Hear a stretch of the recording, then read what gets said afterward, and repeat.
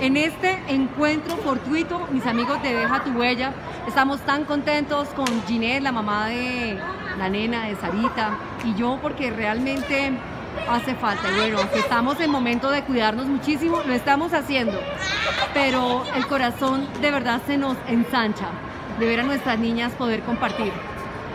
Hace ya más de un año que no podían realizar estas, estos compartires ¿no? propios de la edad.